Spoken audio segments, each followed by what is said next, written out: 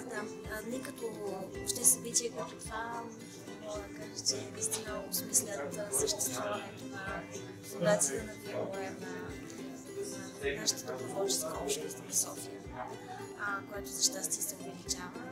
Всъщност това събитие, нали, което вие знаете, се мисля от две години а, и смисъл, че успяхме да по най-добрия начин. Изключително интересни, вдъхновящи Много истории. А, и всъщност това нямаше да стане възможно без вас. А, така че много огромно благодаря от името на цялата доброволческа общност на Вие Моер в София и по света, защото а, вярвам, че посланията, които колегите споделиха днес ще стигнат и до Много бяха впечатляващи според нас. Това, което ние успяхме да им помогнем да извадят, те си го имат, те си го носят.